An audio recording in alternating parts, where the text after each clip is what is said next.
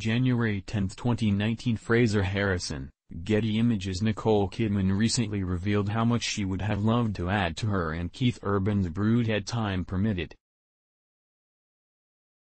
The 51-year-old actress told People that she and her husband of 13 years have speculated about what it would have been like if they had had more children. We go, oh gosh, I wonder if we met when we were 25, then we could have had 10 of them. But Keith says, stop the wanting mind.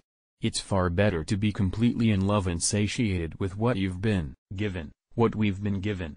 It seems as if Kidman would have liked to have had a large family with her husband, but Urban has encouraged the Destroyer star to count her blessings and be grateful for what they have.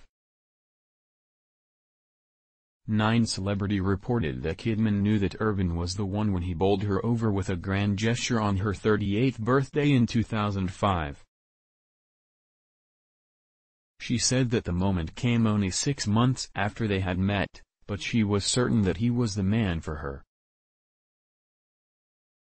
The 51-year-old actress opened up about their love story in a new interview with People, telling the magazine that the pair had grown close shortly after meeting in early 2005. But by June that year, Kidman, who divorced Tom Cruise in 2001, was certain he was the man for her.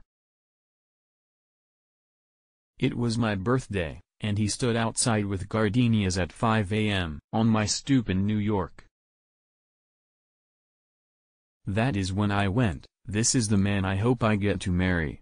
They got married a year later in June 2006 and have faced many challenges since. The rocker entered rehab shortly after their wedding, and Kidman also faced a difficult time when her father died.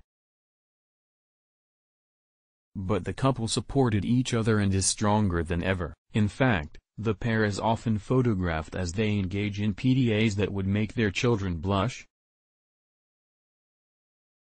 Kidman and Urban are the devoted parents of two daughters who they try to raise away from the limelight in their home in Nashville. Sunday Rose, 10, and Faith Margaret, 8, are also welcome to invite their friends to their home. Our house is always full of kids. Sometimes we have eight kids over for dinner after school. Kidman feels grateful for her family. The actress also has kids from her marriage with Tom Cruise, but Isabella, 26, and Connor, 24, have long since flown a nest.